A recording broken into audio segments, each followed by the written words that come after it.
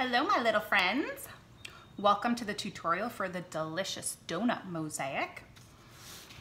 We have this completed project here, just to give you an idea about how it will look when we are done painting today. We chose to do strawberry icing on this donut. And she's looking really delicious.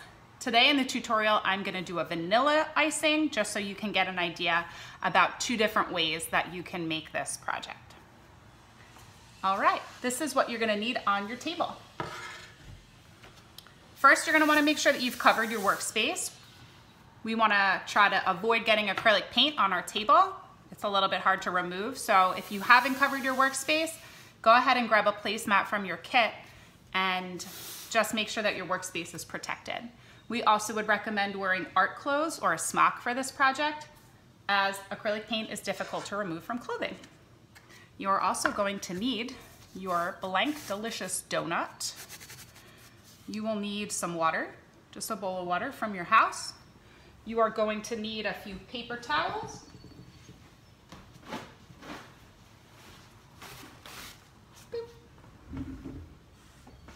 And for the first step of the project, which is the painting part, you're going to need one large brush and one small brush. You also will need a card for mixing paint, or you may have a paper plate in your kit. One of these two things is gonna be in there. And the paint colors. So for this project, we're gonna be using white. I have blue. I have this tan color, which is gonna be my donut color. And then I have a little pink for the cheeks. All right. So if you need to pause for a sec, to set up your table, you can pause, rewind, or fast forward this video at any time if you need to rewatch something or if we're going too slow for you and you wanna speed up. Those are all wonderful.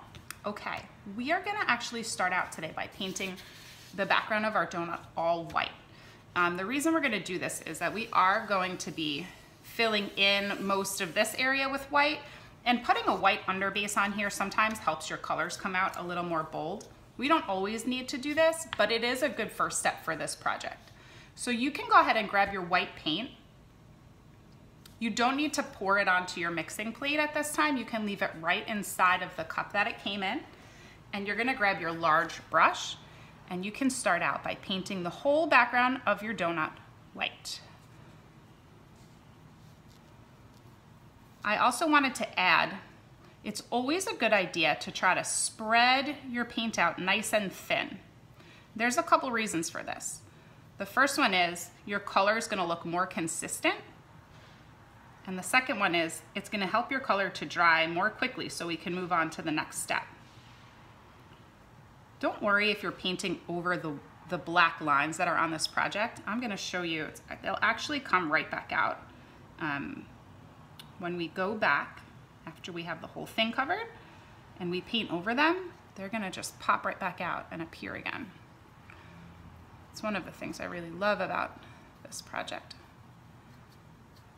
All right, so I'm spreading my paint out nice and thin.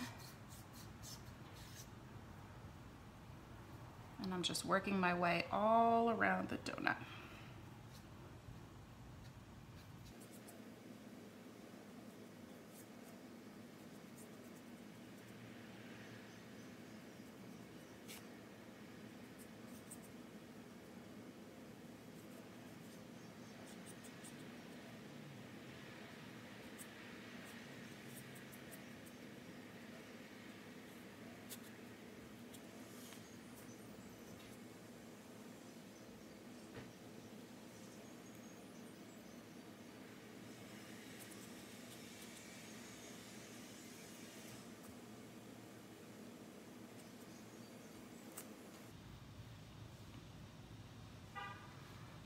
Go ahead and pause your video if you need a second to finish painting the background part of your donut white.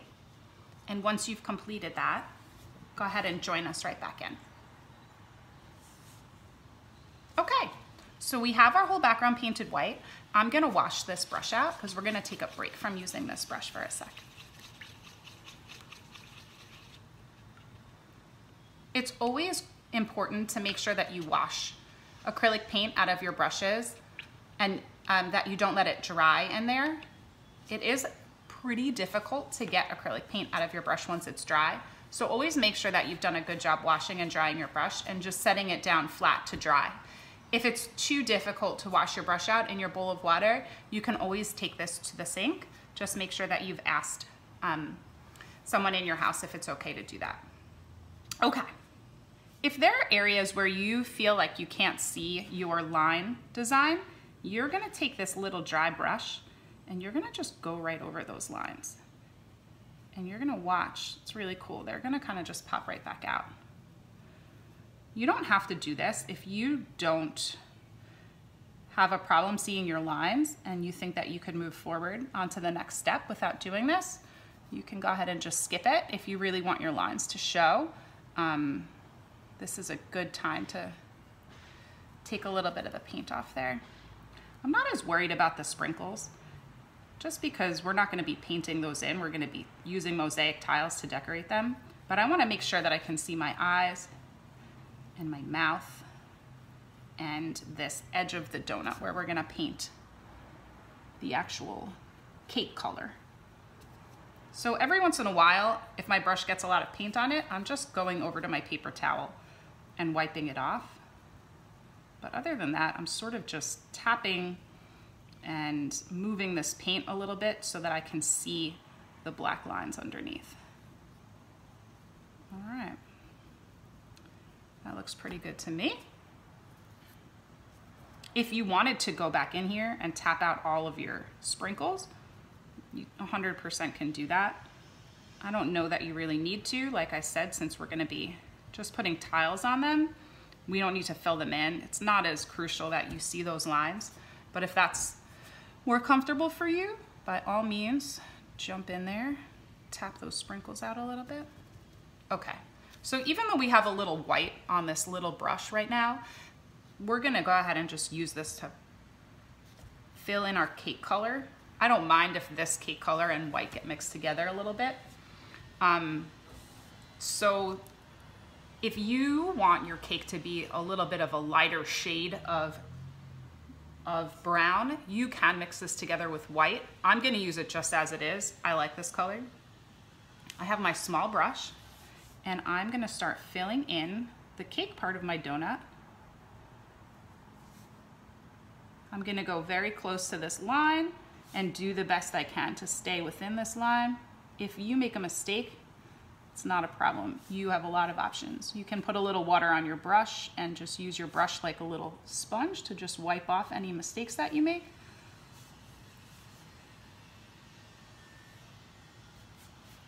So I'm gonna continue all the way around my donut until I have the entire cake part of my donut filled in.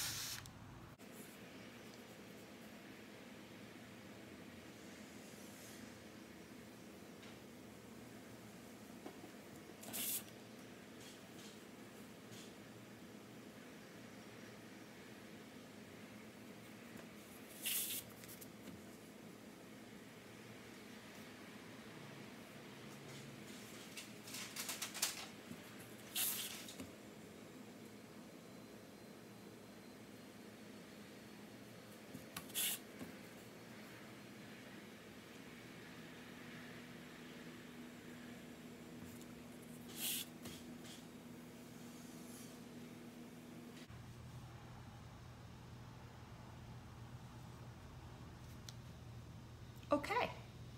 If you have any areas of your cake section where the paint is very thick, you're gonna just go back and take your brush and try to smooth it out. Again, we do this so that our paint dries faster and so the color is a little bit more consistent.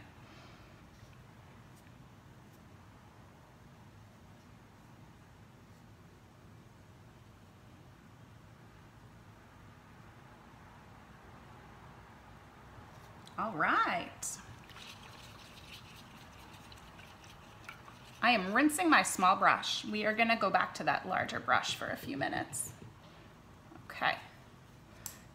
we're gonna put another coat of white inside of the frosting section of our donut.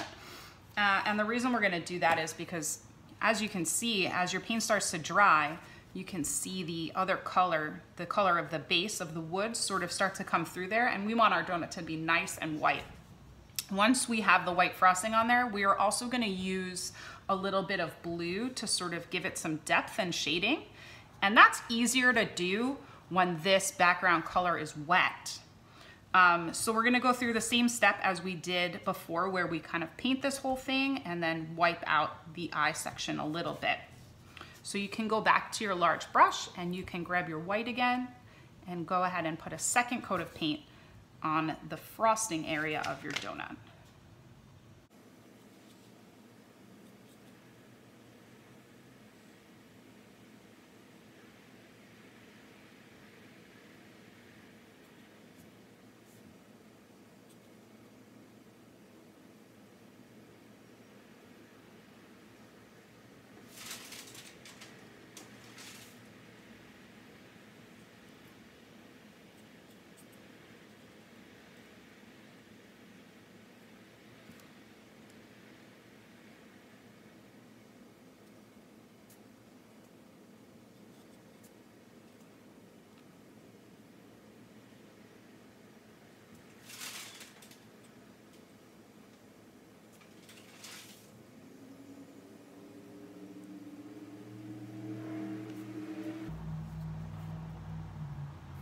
All right, while our background is still wet, you're gonna grab your mixing card and I'm just scooping a little bit of white on here. I still have my big brush. I haven't washed it out.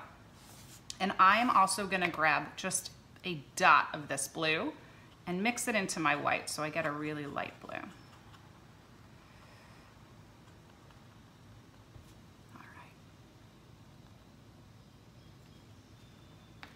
I'm gonna wipe my brush off a little bit. I only want a little bit of blue on here. And I'm gonna use it around the edge of the frosting, where the frosting and the, the cake part are next to each other. If, it's, if you start doing it and it's too dark, you can always just add a little more white in there just to lighten it up. But this is gonna give our frosting a little bit of depth, a little bit of dimension. Okay, so at, after you sort of go around and wiggle around this edge, I'm just going in and sort of blending it towards the middle so that the darkest section is close to the cake and the whitest section is close to the middle. So I'll show you again. So I'm wiggling, I need a little more blue. If it's too white and you can't see much of a contrast, like what just happened to me, you can just grab a little more blue. So I'm gonna wiggle around the edge, wiggle, and then I'm just lightly going in and blending. Wiggle around the edge, and then lightly go back and blend. This is definitely easier to do when your white is still wet. Um, if it's not blending for you, if you feel like it just looks like a blue stripe and you're having trouble getting the white and the blue to mix together, I would go back with your brush, kind of just wipe it off, get some of the blue off of there. And then you can grab white again and go back into those places where it didn't blend and just go over it with a little bit of white. To blend two colors together, you really need them to be wet. That's the key. So once it starts to dry, it's gonna be harder and harder to blend. So you may have to go back and forth a little bit with the darker color and with the white just until you get the effect that you want. And don't worry, if, if, if you've made it too dark, you can just add more white. And if you feel like there's not enough dark, you can add more blue. And if you don't like the way it looks at all and you prefer for your donut to just be solid white, that's totally great as well.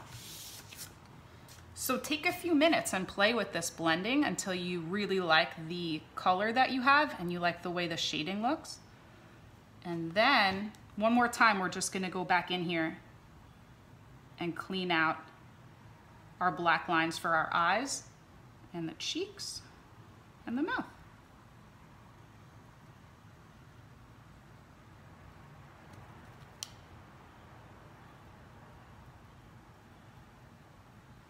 If you can still see your black lines, you can skip this step. Okay. We want to give this a minute to dry. Um, and while it's drying, we can talk about what we're going to be doing next. Um, we are going to, let me fix this little spot. I had a little white over here. Acrylic paint is really great because if you make a mistake, if you get out of the lines or something goes wrong, once it's dry, it's very easy to paint over it and fix it. So we really love acrylic for that reason. It's very forgiving. While I'm letting this dry, I'm gonna wash my brushes out since we talked about that. We don't wanna let it, all that paint dry in our brush. Um, okay, so in the next step, what we're gonna be doing is filling in the eyes and the cheeks and the mouth and also this. Um, we're gonna be outlining the edge here. Before we do that, we do wanna give our project a little bit of time to dry. Um, so there's a couple ways to do that. You obviously can stand up and walk away for a few minutes and let just let it air dry.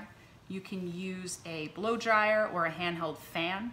You can use a paper plate fan. You can use your hand. That doesn't work that good, but you can try.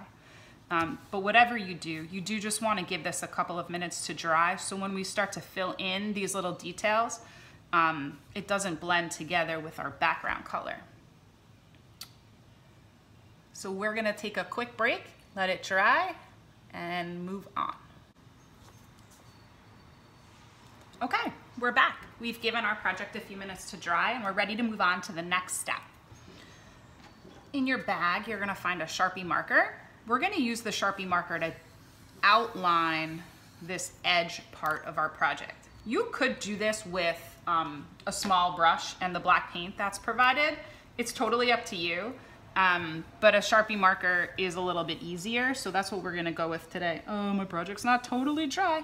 Okay, this is a good time just check your project and see if it's completely dry. If you need a few more minutes, fine. Um, sometimes the Sharpie will not draw on top of the paint if it's not very dry. I think I'm just wet a little bit here in the middle, so I'm gonna go ahead and get started with my outline. So you're just gonna drag your Sharpie along this line where your donut meets your icing.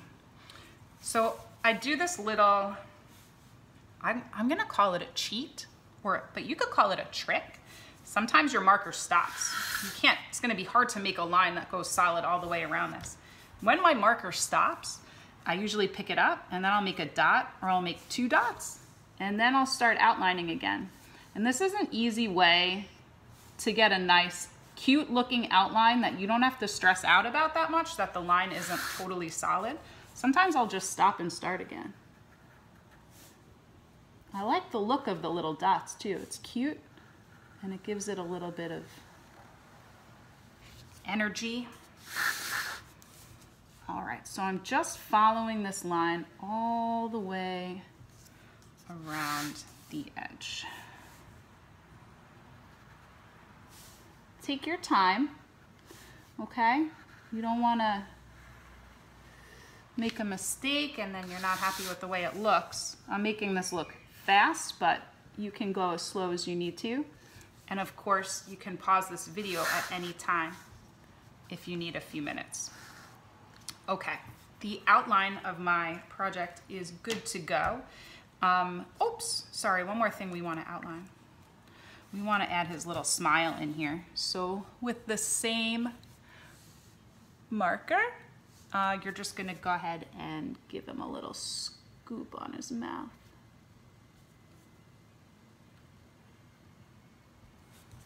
Right, he's looking cute.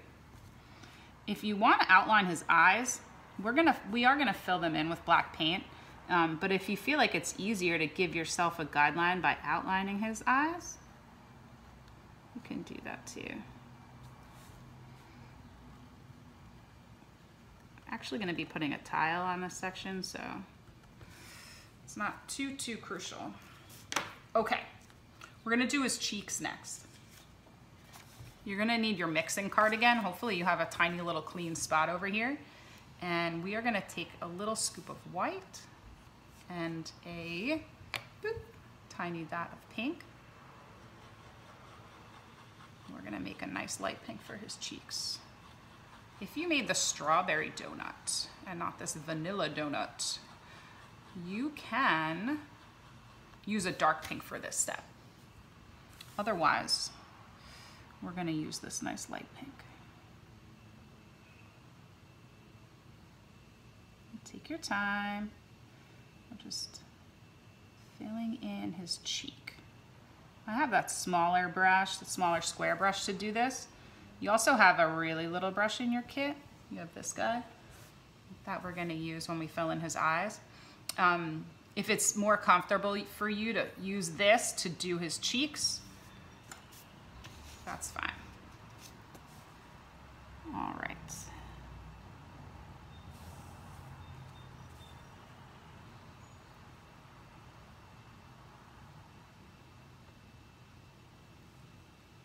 Again, don't worry if this goes near his eyes, it's gonna be black in there, so don't have to be too worried if it gets in that other section. Okay, rinsing out this pink from our brush. And the last painting step we have is to fill in the eyes. I'm gonna use this really small brush just because it's very delicate, these little edges. Um, this circle that's here, this is like a, a shine in his eye. You can go ahead and just paint right over that. Since we are gonna be putting a tile in here, we don't really need to worry about that too, too much. So I've got my black and I have my very small brush and I'm gonna begin filling in, ha ha filling in his cute little eye here.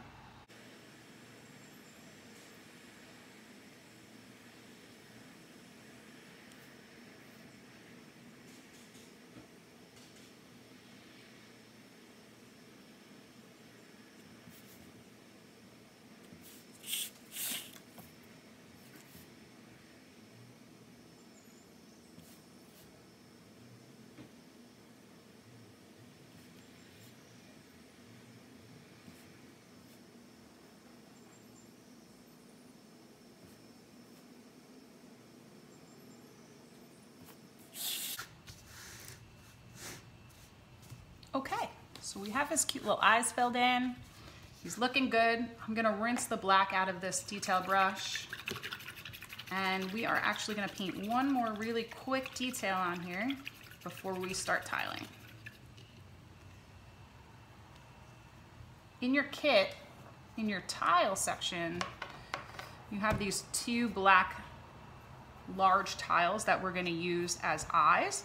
And what we wanna do is add a bit of a shine to these so that when we put it onto our project, he looks really animated.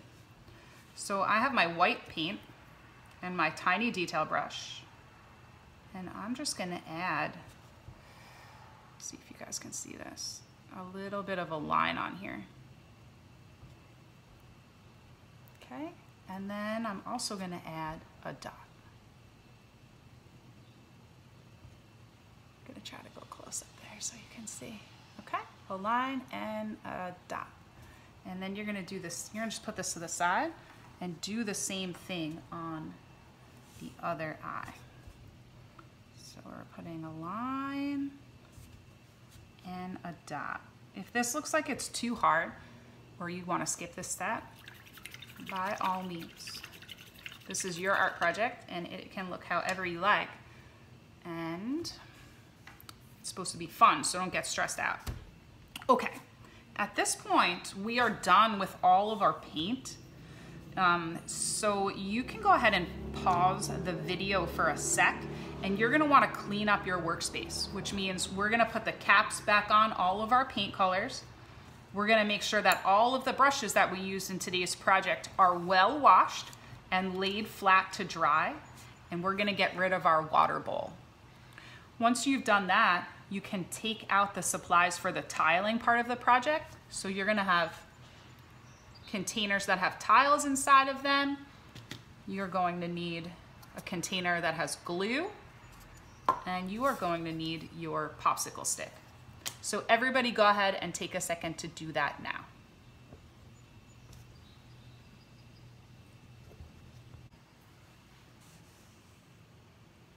Okay, my small friends, we are back with a nice clean workspace.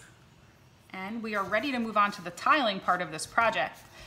Um, hopefully all of your paint is dry at this point. We just most recently painted the eyes and the cheeks. So just be careful if this section's not totally dry yet, you may wanna just turn your project um, so that as you're working, um, your hand isn't gonna touch this section that's not completely dry.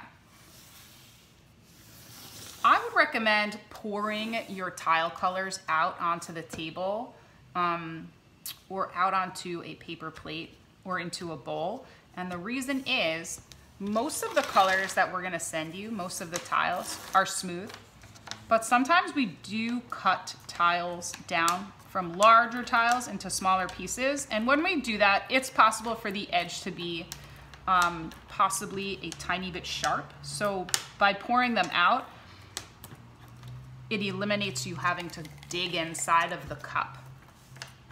You're gonna have a lot of colors. We have all these different rainbow colors inside the cup. Today we're making a vanilla donut with rainbow sprinkles. If you used any other color inside of your icing, you're gonna have whatever flavored donut you picked with rainbow sprinkles, okay. You're also gonna have a cup that has all circles. You can go ahead and pour those out as well. I also just like to pour them out because then I have a good idea about what I have and it helps me to plan out my design. Couple things about the tiling. Number one, once you glue your tiles in place and they dry, they are difficult to remove. I'm telling you that because you may wanna lay some tiles out on here before you start gluing to make sure that you like the way it looks. Once you've glued your tiles in place, they are difficult to move. The second thing I am going to tell you is, as you're gluing, if the glue spreads out beyond where you've put the tile, so for example, if you glue a tile and glue squishes out around the edges. When this dries, it's gonna be totally clear. So you don't need to worry if you see any of the glue around your tiles. For this particular project, I didn't really worry whether my tile totally covered these black lines or not. I sort of like the way it looks when you can still see them. But if you don't wanna see them, you can try to plan it out so that you totally cover the black lines. You can also put more than one tile together to cover a section. So go ahead and experiment a little bit and see what feels best to you. And once you have your tiles laid out on here in a way that you like, you can glue them down. There's two ways to glue your tiles to your base. The first way is how I showed here, where I took my popsicle stick and my glue. You just need a little dot, a little dot, and I just put a dot down onto the base of the project. And then I took my tile and stuck it on. The other way is to take your popsicle stick and your glue and, hmm, what color should I do? Take your tile and put the glue onto your tile and then stick your tile down. So either one is fine, whatever feels good to you. Um, just make sure that you are planning this out before you start gluing. Uh, for the sake of time, I'm gonna just glue mine in, but you should definitely take the time to plan it out. All right, happy gluing.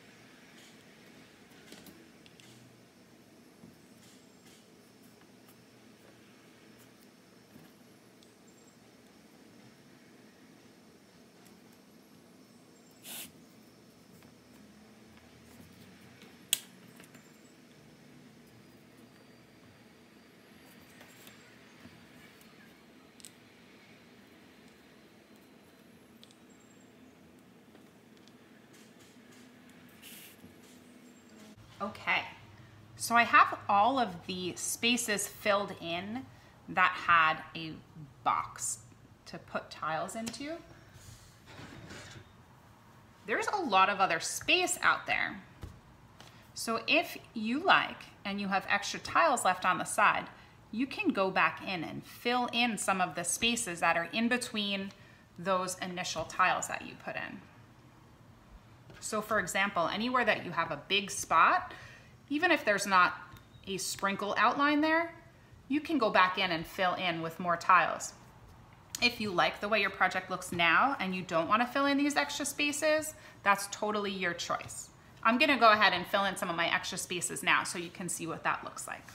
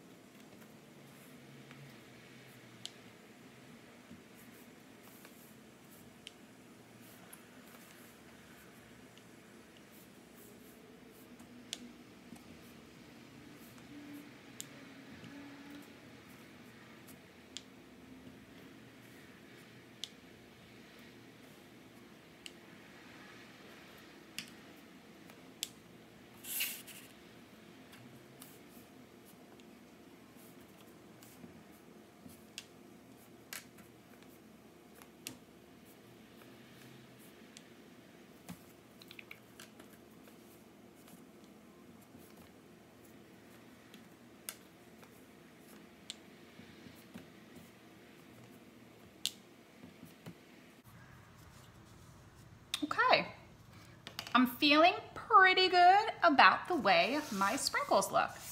You can go ahead and take any extra tiles that you have and put them to the side. Um, you may not have any extra tiles. I didn't exactly measure mine out before I put them in these little cups, but you will probably have just what you need to cover your donut. Once you have this section done, the last step of the project is to add in our donut eyes. So hopefully by this point, that little white stripe that we put on our eyes is dry. And put a little dot of glue on each eye. Oh, he looks cuter already. Okay, and then it's good to put this shine of his eye, that's what we made with this white, kind of want that to be in the same place on both sides. So I put mine sort of on the top left. You can put yours anywhere. Oh my goodness, so cute. I hope you had the best time creating your delicious donut mosaic today, and we will see everybody soon. Bye-bye.